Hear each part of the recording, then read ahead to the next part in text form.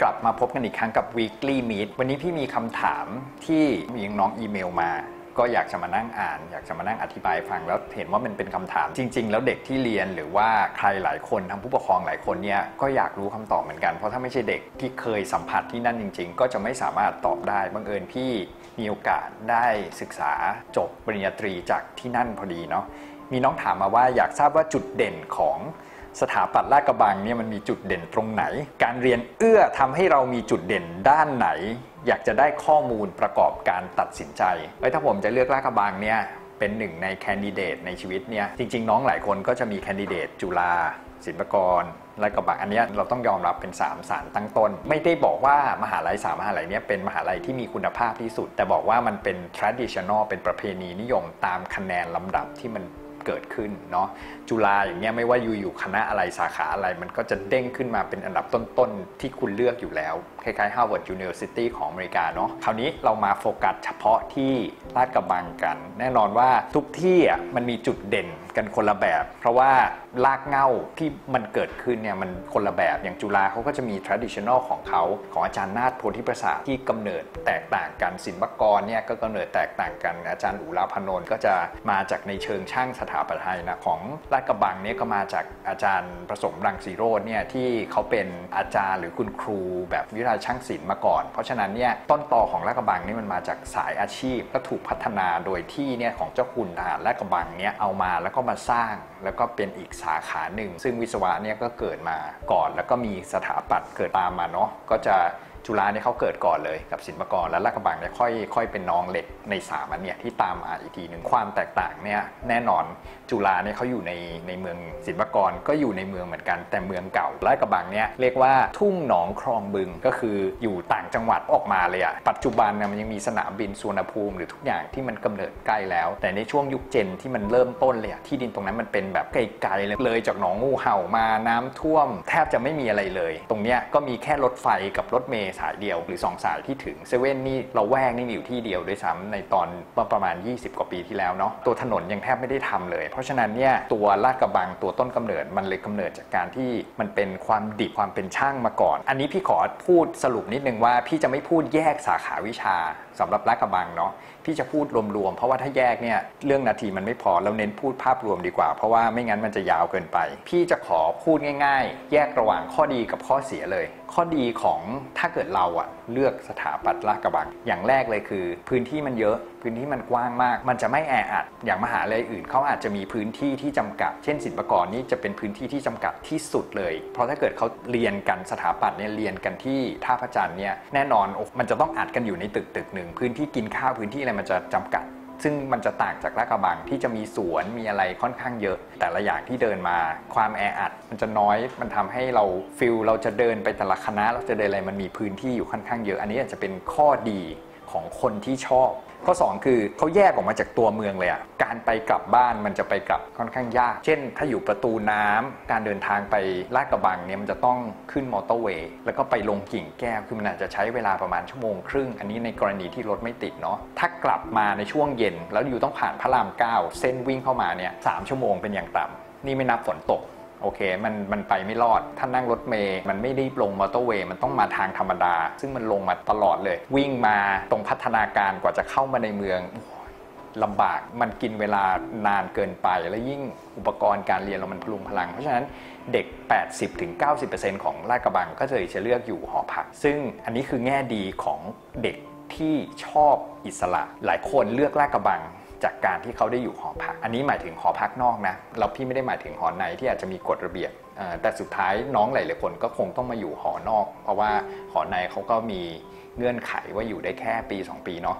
พอมาอยู่หอนอกเนี่ยเรื่องความรับผิดชอบเรื่องความอะไร มันก็ได้ฝึกข้อดีของมันก็คือ เราจะได้เห็นงานเพื่อน เวลาเพื่อนทำงาน เพื่อนอาจจะอยู่ห้องข้างๆ เรา เปิดไปแล้วเราก็จะเห็นงานตัวอย่างของเพื่อนทำเราก็จะไปเดินไปถามได้ ในขณะที่อยู่บ้านเนี่ย การถามกันมันอาจจะยากนิดหนึ่ง ปัจจุบันมันมีเทคโนโลยีถ่ายภาพถ่ายอะไร แต่มันก็ไม่เท่ากับอยู่ข้างๆห้องแล้วเดินไปคุยกันเลยว่าเอองานนี้มันคิดยังไง บางทีเรา relax อะเบื่อทำงานของเราเหนื่อยอยากพักสักครึ่งชั่วโมงแล้วก็เดินเที่ยวไปเคาะห้องเพื่อนมาดูไอ้ทำอะไรแล้วก็ไปเมาส์กับเพื่อน มันเหมือนสตูดิโออะห้องแยกกันได้อยู่สตูดิโอเพราะอยู่หอพักก็จะอยู่ห้องแยกกัน มันเหมือนเราได้ไปเที่ยวสตูดิโอเพื่อนได้ไปเปิดหูเปิดตานั่งคุยกัน มันเหมือนแลกเปลี่ยนอ๋อไอเดียมันเป็นอย่างนี้ นี่คือข้อดีเพราะถ้าอยู่บ้านอาจจะมีแง่ดีในเรื่องของสมาธิในการทำคือโฟกัสที่งานชัดงานเลยแล้วนอน แต่อยู่หอนี่มันจะมีเรื่องของเพื่อนเข้ามาใครที่ชอบเห็นงานเยอะๆ เห็นอะไรได้คุยได้อะไร อาจจะชอบในการอยู่หอมากกว่า คราวนี้ก็ไม่ต้องกลัวเนาะบางที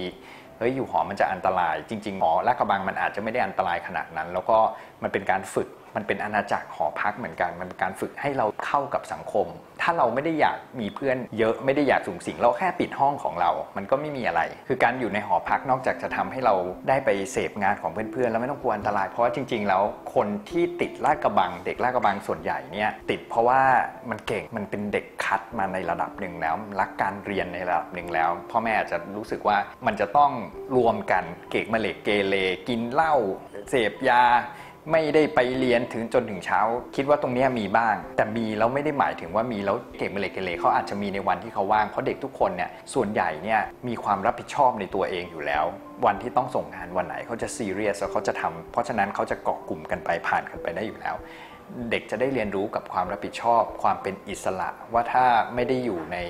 ในเงาพ่อแม่ เราต้องนั่งทำงาน ไม่ได้หมายความว่าเขาจะเก่งกว่าเด็กในเมืองนะ แต่เขาจะเข้าใจว่าอ๋อการอยู่คนเดียวมันเป็นอย่างนี้ แล้วการตั้งทำงานการทำอะไรในชีวิตจริง ๆ มันเป็นอย่างนี้ ข้อดีข้อที่ 4 มันก็คือมันมีช็อปคือพอมันมีพื้นที่เยอะ มันทำให้ช็อปหรือห้องปฏิบัติการเนี่ยมันสามารถแยกตัวออกมาได้เป็นปัจเจกของมันเลย ถ้าเป็นศิลปกรหรือเป็นจุฬาเขาอาจจะเป็นตึกแล้วก็มี ห้องปฏิบัติการอยู่ในตึกนั้นหลาย ๆ หลาย ๆ ตัว ซึ่งพื้นที่เขามีจำกัด ซึ่งมันต่างจากลาดกระบังที่ช็อปไม้ก็จะเป็นช็อปไม้ที่มีพื้นที่กว้าง พอ ๆ กับคณะคณะหนึ่งเลย แล้วก็นั่งทำ outdoor แล้วก็มานั่งปัดฝุ่น นั่งทำเฟอร์นิเจอร์กันอยู่ตรงลานเลย ไม่ได้ทำอยู่ใน indoor ยกเว้นแต่อันที่มันมีเครื่องมือเครื่องมือเครื่องจักรเครื่องอะไร หรือว่ามีอุปกรณ์อะไรก็อาจจะเข้าไปในอาคาร แต่ถ้ามันมีฝุ่นมีอะไรก็จะเป็น outdoor เพราะฉะนั้นการทำงานหรืออย่างเช่น สาขาสอทที่เขาจะต้องมีการเลื่อยไม้ก็จะมีช็อปไม้เลย ต้องฝึกการผสมปูนก่ออิฐฉาปูนขึ้นมา เขาก็จะมี outdoor เพื่อให้ฝึกในดีเทลของตรงนั้นเลย มันจะมีพื้นที่เยอะกว่าไม่ได้หมายความว่ามหาลัยอื่นมันไม่มีนะครับ หมายถึงว่า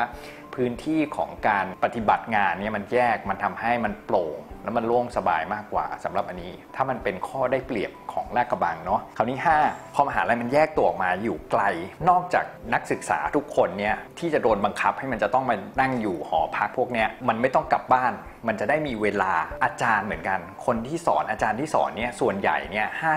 ขึ้นไปเนี่ย ก็จะอยู่หอพักใกล้ ๆ ตรงนั้นแหละ อาจารย์เนี่ยเขาจะมีอาจารย์อยู่ 2 ประเภทในในประเทศเนี้ยอาจารย์แรกก็คืออาจารย์ที่เป็นอาจารย์จริง ๆ จริง ๆ เป็นอาจารย์จริง ๆ ทุกคนแหละครับ แต่หมายถึงว่าเป็นอาจารย์ที่ทำงานเป็นอาจารย์เต็มตัวร้อยเปอร์เซ็นต์เลยตื่นมาแล้วก็เป็นอาจารย์ ตกดึกอาจจะมีการเพิ่มเขียนงานวิจัยอะไรด้วยอะไรอย่างเงี้ยแต่เป็นอาจารย์จริง ๆ เลยร้อยเปอร์เซ็นต์แล้วก็ทุ่มเทการสอนให้กับเด็กเลย กับอันที่ 2 ก็คือเป็นอาจารย์ครึ่งหนึ่งกับอีกครึ่งหนึ่งอะมีบริษัทเป็นของตัวเอง ต้องคุมบริษัทเขาก็จะมีการทำงานวิจัยทำงานเรียนต่อของตัวเอง ซึ่งมันอาจจะแบ่ง priority ของเขาออกเป็นครึ่งหนึ่ง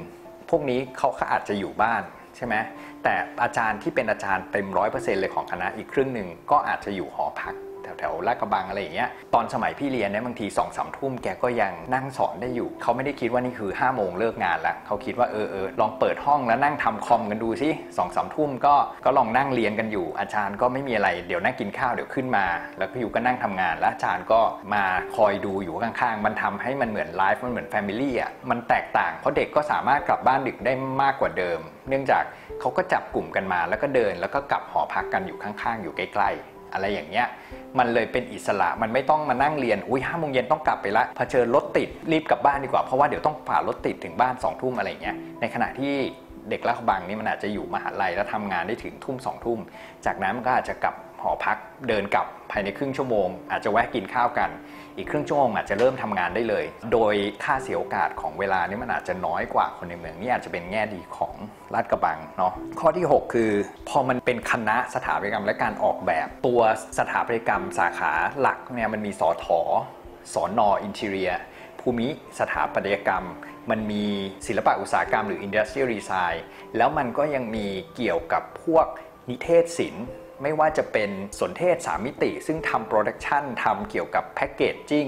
ทำเกี่ยวกับมัลติมีเดีย ก็ยังมีคณะที่มันเป็นนิเทศศิลป์จริง ๆ แล้วก็มีคณะถ่ายภาพ มีคณะพวกฟิล์มมีคณะที่เกี่ยวกับจิตกรรมเพื่อนพวก digital multimedia อีกทีหนึ่งเพราะฉะนั้นเนี่ยความหลากหลายพวกเนี้ยมันกลับกลายมาตั้งอยู่ในคณะเดียวกันเลย อย่างศิลปากรเขาจะแยกมัณฑนศิลป์ออกมาเหมือนกับคนละคณะ อย่างจุฬาเขาจะมีศิลปกรรม มันก็จะอยู่คนละคณะ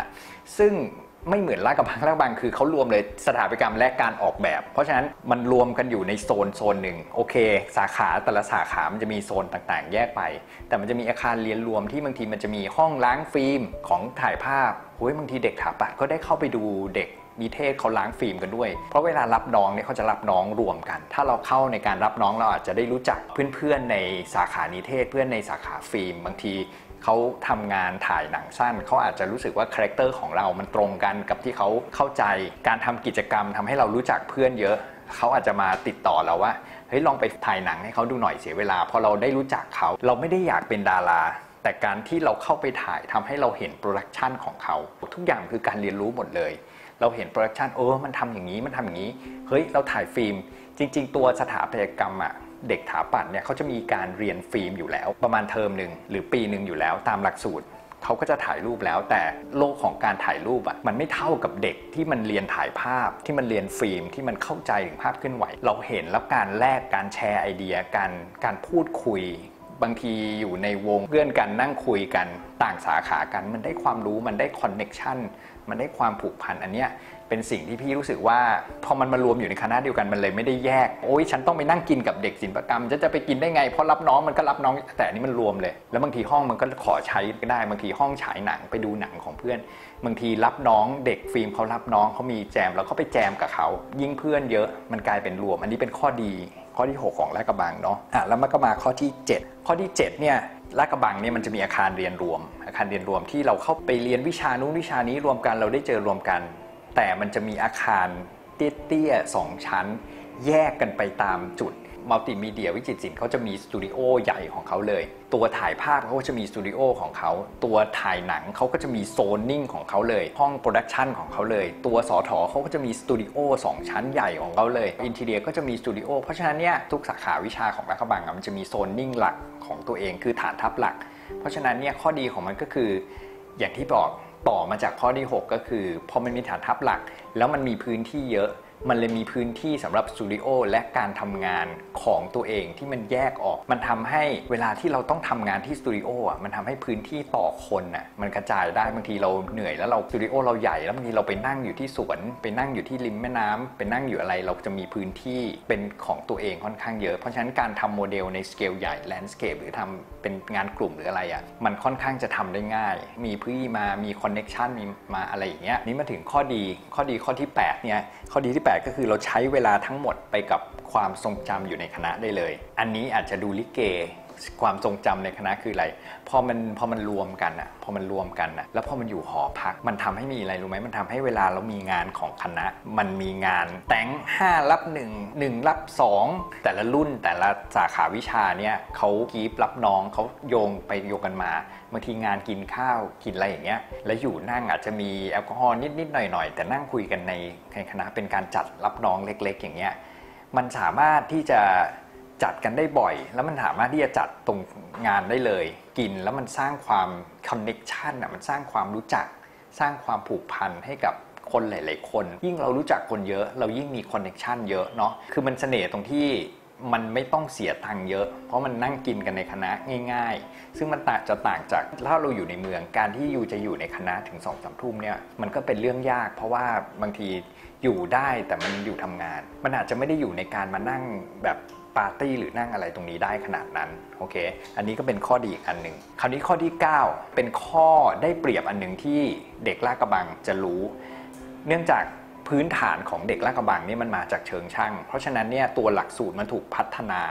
ต้องบอกว่าขอบอกว่าถูกพัฒนามาจากเชิงปฏิบัติ เชิงวิชาชีพเป็นหลัก ไม่ได้บอกว่าลาดกระบังเนี่ยเขาจะไม่เก่งทางทฤษฎีหรือเก่งทางอะไรนะ แต่เขาจะไม่ค่อยฟุ้ง เขาจะเอาทฤษฎีของเขาเนี่ยหรือวิชาหลาย ๆ วิชาเนี่ยในหลักสูตรอะเขาจะมีคำคำหนึ่งเขาจะเรียกเน้นว่า construction เพราะเด็กถาปรักบางจะรู้ดี เป็นสถาบันที่มีตัวหน่วยกิจ construction ที่ค่อนข้างเยอะ เรียนทุกเทอมสอบโหดมากทำงาน 70%สอบอีก 30%ทำงานมาทั้งเทอม ถ้าไม่อ่านหนังสือสอบและสอบปฏิบัติ ปฏิบัติของ construction และกระบังไม่ใช่แค่ปฏิบัติทฤษฎีนะ แต่เขานั่งเช็คเขียนแบบเลยว่าอยู่เขียนจริงเปล่า แล้วอยู่โอเคเปล่าแล้วถ้าเจอสถานการณ์นี้ การแก้ปัญหาตัว construction ของยูจะเขียนออกมายังไงเขียน แล้วถ้าไอ้30%เปอร์เซ็นต์เนี่ยถ้ามันไม่ถึง15%เปอร์เซ็นต์เนี่ยมันตกนั่นหมายถึงว่ายูตกทั้งหมดเลยนะ ทั้งเทอมที่ทำมามันเจ๊งหมด แล้วถ้าตกตัวใดตัวหนึ่ง construction ซ้ำชั้นเลย มันมีความยากลำบากและเขาให้ความสำคัญกับวิชา construction ค่อนข้างเยอะมากๆ นี่คือนี่คือสิ่งที่ได้เปรียบและไอ้ construction นี่แหละ มันคือวิชาที่ทำให้ เวลาที่เราเรียนจบแล้วอะเราไปอยู่ใน site ก่อสร้าง ไม่ว่าเราจะออกแบบอะไร เราจะเข้าใจระบบการก่อสร้าง และทำให้มันออกมาในรูปแบบของความเป็นจริงได้มากกว่า ชาวบ้านเขา ยิ่งประจวบกับการมี shop มีอาจารย์ที่เน้นเกี่ยวกับพวกนี้ด้วย เพราะฉะนั้นเวลาจบเราอาจจะเข้าใจซัพพลายเออร์เข้าใจ material เข้าใจระบบในการทำงานก่อสร้างได้มากขึ้น อันนี้คือข้อได้เปรียบของลาดกระบัง ส่วนข้อที่ 10เนี่ยพอเราอยู่หอพักเนี่ยนอกจากเราได้เห็นงานเพื่อนเราได้อะไรเนี่ยบางทีนะพอ connection เราอยู่ใกล้มหาลัยเราเข้าใจคิดงานไม่ออกเราอาจจะขี่จักรยานไปกับเพื่อนสองสามคน ไปที่คณะเสร็จปุ๊บเราอาจจะไปดูห้อง exhibition ที่เขาเปิดอยู่ แล้วก็ไปดูว่าไองานตรงนี้มันทำยังไงเข้าไปวัดงานเข้าไปอะไรอย่างเงี้ยมันก็อาจจะได้ 2 ก็คือบางทีเราทำ project อยู่ในห้อง project ใหญ่อยู่ในห้องอย่างเงี้ยอาจจะเป็นบ้านหลายชั้นหรือเป็นโรงแรมอย่างเงี้ยบางทีแล้วเราอาจจะยังไม่เข้าใจ ถ้าเราอยู่บ้านเราต้องด้นมันให้ได้จบให้ได้เลย แต่ที่เนี้ยอาจจะมีเพื่อนที่บางทีเดินมาแล้ว เฮ้ยทำไมไม่ทำตัวนี้ หรือบางทีเราทำไม่ทันแล้วทำไม่ทันโทรหา อาจจะมีพี่รหัสที่อยู่ชั้นบน หรืออยู่ใกล้ๆหอพักตรงข้ามใกล้ๆเขาอาจจะขี่จักรยานมา เดี๋ยวมาช่วยน้องอาจสัก2ชั่วโมงแล้วเดี๋ยวช่วยคืนพี่ด้วยนะ 2 ชั่วโมงอะมันเป็นสัญญาใจเขาก็จะช่วยเรา2ชั่วโมงทำงานพี่ก็จะทำงานส่วนนั้น มันเหมือนช่วยกันไปช่วยกันมา นี่คือข้อดีของแรกกระบัง ถ้าเกิดเราอยู่หอด้วยนะ ข้อที่ 11เนี่ยคือเนื่องจากรุ่นพี่รุ่นน้อง มันเยอะแล้วมันนานมันก็เลยปึกพอมันอยู่หอด้วยมันจะมีความสนิทมากกว่ารุ่นพี่ที่เราไม่ได้อยู่หอด้วย อยู่หอด้วยบางทีเรานั่งกินข้าว พี่คนนี้ก็มากินข้าวอยู่ร้านข้างบางทีมันเจอกัน เรานั่งรีแลกกับแก๊งเพื่อนนี้บางทีพี่มา การรับน้องในคณะบางทีนับเจอกันบางทีมันเหมือนมันอยู่กันเป็นครอบครัวใหญ่อะที่บางทีเราไม่ได้สนิทกับเขาเหมือนพี่น้องแหละ แต่ว่าเหมือนญาติอะอาแปะอากงมาเราก็เข้าใจ แล้วก็คุยกับรุ่นพี่เป็นอาแปะอากงแบบฟิลแบบ มี connection อย่างนั้น มันก็ทำให้มี connection ที่ดีและหลักสูตรมันปึ้กอยู่แล้ว เพราะว่ามันมีระยะเวลาในการสอนมาอย่างยาวนานเนาะแล้วมาถึงข้อดีข้อสุดท้ายก็คือ ตลาดงานพอรุ่นพี่มันเยอะ ตลาดงานที่จบมามันรองรับเด็กลาดกระบังค่อนข้างดี เพราะว่าเด็กลาดกระบังอะ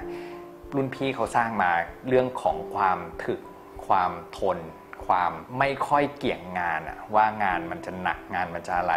พี่ไม่ได้บอกทุกคนของลาดกระบังเป็นอย่างนี้ครับ แต่หมายถึงว่าพอเวลามันผ่านอะไรมาอย่างเงี้ยบางทีฉันทำงานนี้มาเพื่อนทำงานนี้ที่ดีขึ้นไปอีก เราก็ต้องเร่งของเราขึ้นไปอีก มันทำให้เกิดขั้นกว่าขั้นกว่า มันชินกับการขั้นกว่าไปเรื่อยๆพอมันชินกับการขั้นกว่าไปเรื่อยๆ มันก็เลยติดนิสัยตรงนี้มันก็เลยสนุก พอเวลาไปเข้ากับการทำงานบอสให้ทำอย่างนี้นี้มันก็จะรู้สึกอดทน รู้สึกเข้าไปอยู่ในระบบงานที่ดี ถึงแม้จะเปิดบริษัทของตัวเองก็จะมีความอดทนและความถึกที่ดี นี่ก็คือ 12 ข้อดีที่คร่าวๆเนาะพี่พูดคร่าวๆในทุกๆ อันอย่าลืมมีข้อดีมันอาจจะมีข้อเสีย ข้อเสียพี่อาจจะแบ่งมาย่อยๆ สัก 6 ข้อนิดหนึ่งซึ่งแน่นอนทุกอย่างมีข้อดีต้องมีข้อเสียเราต้องแฟร์เราต้องแฟร์ข้อเสียข้อแรกของลาดกระบังเนี่ยสำหรับพี่เนี่ยมันเป็นข้อเสียสำหรับคนที่รู้สึกว่ามันไกลบ้านอะแล้วฉันไม่ได้อยากอยู่หอฉันติดบ้าน สิ่งที่เราจะต้องมีเลยอะสำหรับการอยู่หอลาดกระบังนะถ้ามันอยู่ไกลบ้านแล้วเราไม่ได้อยากอยู่หอพัก เราจะต้องมีรถ ซึ่งพี่ไม่ได้อยากให้เราขับรถในช่วงปี 1 ปี 2 ขนาดนั้น จริง ๆ ปี 1 ปี 2 ปี 3 ปี 4 ก็ไม่ได้อยากให้ขับ สมัยพี่เรียนเนี่ยก็อยากได้รถมาก คือที่บ้านก็อิดออดทำอยู่ไม่ใช่ปีสูงๆ แล้วเขาก็ไม่ได้อยากให้ แล้วก็รู้สึกว่าทำไมอะมันเหนื่อยอะมันเรียนแล้วมันอยากมีรถขับกลับเลยหรืออะไรอย่างเงี้ยรถไม่ต้องแพงก็ได้ แต่เราก็อยากในวัยรุ่นเด็กเนาะแน่นอนเขาก็อยากมีรถอะไรที่เป็นของตัวเองจะแต่งไม่แต่งไม่รู้แต่มันอำนวยความสะดวกไว้ก่อน ซึ่งที่บ้านก็ไม่ได้ให้ เพราะว่าเราก็ไม่ค่อยเข้าใจที่บ้าน จนเราโตจนถึงทุกวันนี้บางทีเราผ่านอะไรมาเราเข้าใจ เพราะว่าหนึ่งก็คือพอมันมีรถมันมีเรื่องภาระเช่นว่าต้องมีค่าใช้จ่ายโอเค หลายคนที่บ้านอาจจะ support แต่อย่าลืมมันจะมีเรื่องของเราอาจจะไม่ได้มีทักษะหรือประสบการณ์ในการควบคุมตัวเองได้เป็นอย่างดี พี่ไม่นับเรื่องกินเหล้ากินอะไรอยู่แล้ว เพราะหลายคนกินเหล้าอาจจะไม่ได้ขับ แต่มันจะมีเรื่องของการอดหลับอดนอน บางทีเราทำโปรเจกต์จนถึงเช้า แล้วเราไม่มีทางเลือกพ่อแม่ออกไปทำงาน เราคิดว่าเราไหวเราขับไปมหาลัย แต่เราอาจจะขับแล้วหลับช่วงเสี้ยววินาทีเดียวมันอาจจะลงข้างทางก็ได้ เพราะฉะนั้นอันนี้ก็เป็นอันตรายเนาะแล้วก็เป็นข้อเสียที่พี่รู้สึกว่ามันเป็นนกลไกของมัน ถ้าสามารถนั่งขนส่ง ธรรมดาได้แต่มันจะเหนื่อยกว่าชาวบ้านนี่เป็นข้อเสีย แต่ถ้าอยู่หอได้ก็จะพลิกข้อเสียกลับมากลายเป็นข้อดีได้ทันทีเนาะแต่จะมีค่าใช้จ่ายเพิ่มแน่นอน เพราะว่าอยู่หอก็ต้องมีค่าใช้จ่ายเพิ่ม ก็อาจจะเป็นข้อเสียที่พลิกกลับมาอีกสองคือสถานที่เที่ยวหรือศูนย์การค้าใหญ่ๆเนี่ย มันไม่ได้อยู่ใกล้ มันไม่ได้อยู่ใกล้เหมือนจุฬาที่ขยับก็เป็นสยาม เป็นพารากอนเป็นอะไร เขาจะได้เห็น branding เขาจะได้กินของอร่อยอร่อยแพงๆ ที่มันมาเปิดตัวในพารากอนที่มันอยู่ Discovery ที่มันอยู่สยามเซ็นเตอร์ที่มันอยู่ในช็อปในสยามสเคปหรืออะไรที่มันรวดเร็ว แต่ ลาดกระบังเนี่ยมันต้องใช้ระยะเวลาใกล้สุดของเขาก็อาจจะใช้ระยะเวลาประมาณหนึ่งแต่ถ้าอยู่ cover จริง ๆ ก็อาจจะต้องไปโซนศรีนครินทร์ ซีคอนสแควร์ซึ่งถ้ามีรถมันก็มันก็ไม่ได้มีอะไร แต่มันจะไม่ใกล้เท่าอย่างศิลปากรเขาก็จะละแวกนะมันก็จะ อุดมไปด้วยของกินของใช้อะไรที่อันนี้อยู่แล้วเนาะอาจจะเป็นข้อเสียสำหรับคนที่ติดฉันชอบในเมืองฉันติด branding ฉันอะไรอย่างเงี้ยสำหรับข้อ 3 ก็คือสำหรับคนที่ชอบอ่านหนังสือ แล้วสนุกกับการที่มี concept อะ concept งานที่เวอร์เวอร์ ที่รู้สึกว่าไม่เคยมีใครคิดตรงนี้ ซึ่งไม่เคยมีใครคิดตรงนี้ แล้วก็สนุกกับการที่ทำฟอร์มเวอร์ใช้ไอเดียปั้น ใช้ไอเดียอะไรใหม่ ๆ แล้วไม่ได้รู้สึกกับการที่เราจะต้องมานั่งถึกทำโมเดลอะไรขนาดนั้น เสมือนจริงขนาดนั้น เราอาจจะทำแค่นี้ก็พอเราเน้น concept แล้วเราเป็นคนที่ชอบอ่านหนังสือมากกว่า แล้วก็เน้นในเชิงของวิชาการนั่งเขียนวิชาการนั่งอะไรอย่างเงี้ยแล้วก็นั่ง concept system เป็นระบบ ซึ่งพวกเนี้ยอาจจะเหมาะกับ ทางจุฬาหรือว่าศิลปากรมากกว่า เพราะฉะนั้นลาดกระบังมันอาจจะไม่ได้บอกว่าพวกนี้จะเรียนลาดกระบังไม่ได้ เราเรียนลาดกระบังได้ แต่อาจจะเรียนไม่ได้มีความสุขคล้าย ๆ กับคนที่เหมือนพ่อปฏิบัติมากไปเรียน จุฬาอาจจะไม่ได้มีความสุขเท่ากับการมาเรียนลาดกระบัง เพราะว่าวิถีมันต่างกันเนาะข้อเสียข้อที่ 4 ก็คือ เป็นข้อเสียที่ไม่รู้ข้อเสียป่ะนะเขาเรียกว่าทางเลือกไม่มีเช่น branding เราอะมันจุฬาหนูติด branding จุฬาแต่บางทีเราไม่ได้สอบติด จุฬา port ที่เรายื่นจุฬามันอาจจะไม่ติด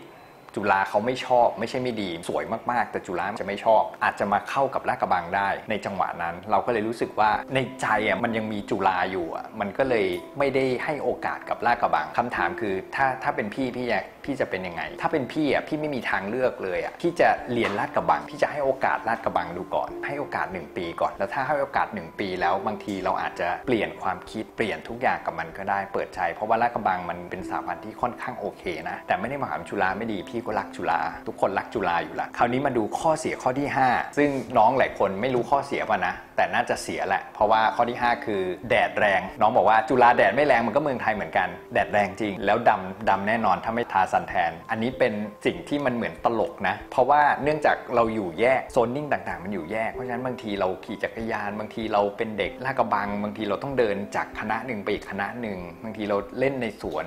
ตอนเย็นเรามาเล่นแบดกันเรามาลุยอะไรกัน ส่วนใหญ่งานหรือว่าการทำช็อปหรืออะไรมันจะอยู่ outdoor มันจะไม่เหมือนในเมืองที่เขาจะอยู่ภายร่มเงาภายใต้อาคาร เพราะฉะนั้นการอยู่ outdoor มัน